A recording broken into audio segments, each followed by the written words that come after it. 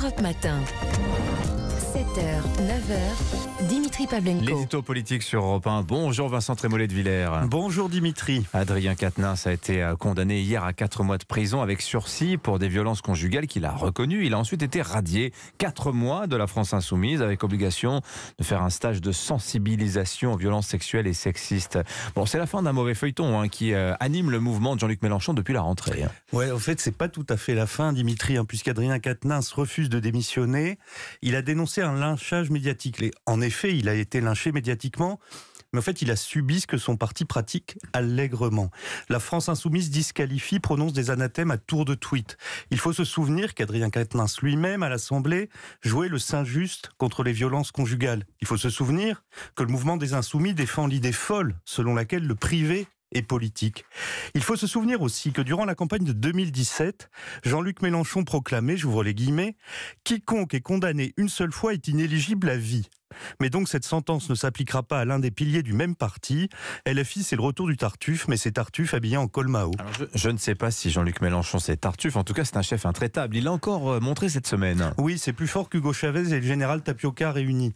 Un petit rappel des faits hein, pour nos auditeurs. Manuel Bompard a pris la direction du mouvement, a écarté sans ménagement François Ruffin, Clémentine Autain, les deux présidentiables, mais aussi Éric Coquerel, le patron de la commission des finances de l'Assemblée, ou encore Raquel Garrido, fidèle parmi les fidèles. Manuel Bompard, en fait, a été chargé de nettoyer le terrain pour préparer la candidature de Jean-Luc Mélenchon en 2027.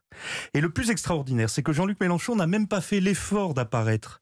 C'est pourtant le même qui ne cesse de critiquer la verticalité du pouvoir, le même qui dénonce l'opacité des conseils de défense sanitaire, le même qui plaide pour une constituante permanente, c'est lui, Jean-Luc Mélenchon, qui réorganise son parti par procuration en demandant à son intendant, Manuel Bompard, de faire le boulot.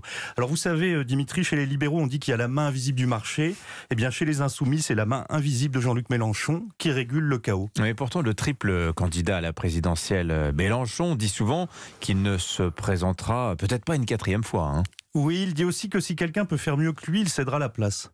Alors, vu la haute idée qu'il a de lui-même, celle d'un homme qui a rendez-vous avec l'histoire, je doute qu'il reconnaisse un talent supérieur au sien.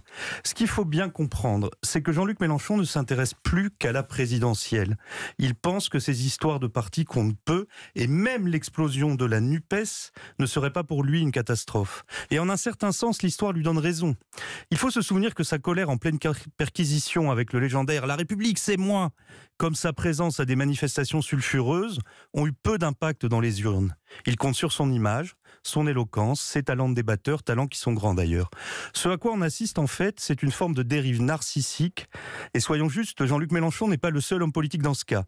Mais il y ajoute les vieilles méthodes autocratiques du trotskisme lambertiste. Alors l'avantage de toute cette histoire, c'est que l'on voit à ciel ouvert ce que feraient les insoumis s'ils étaient au pouvoir. En fait, la France insoumise, ça ne sert à rien d'écouter ce qu'elle dit, il suffit de regarder ce qu'elle fait. Merci Vincent Trémollet de Villers du Figaro.